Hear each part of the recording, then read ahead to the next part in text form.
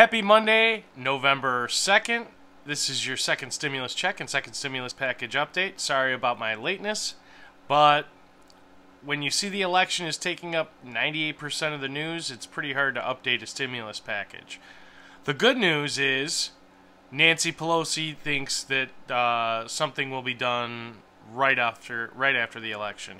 Um, also, Trump is quoted as saying that as soon as he's reelected as president, uh, he'll have a stimulus package that's bigger and better.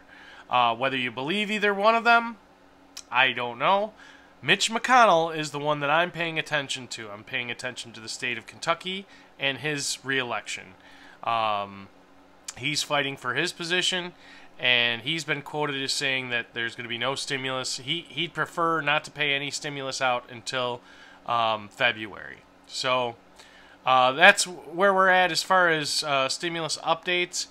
I really don't care for the back and forth about Trump and Biden with all the, you know, chasing buses and fighting in the streets. And, I, I, you know, to me, the election's tomorrow.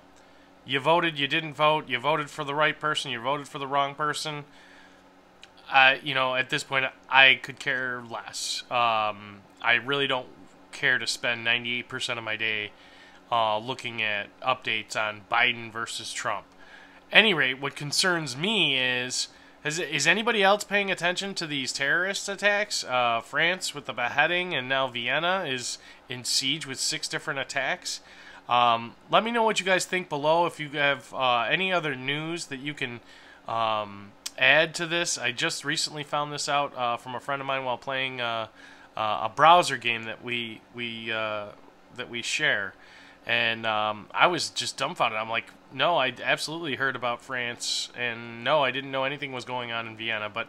Um, I figured I'd share that. Uh, terrorist attacks coming back. Uh, ring a bell. Um,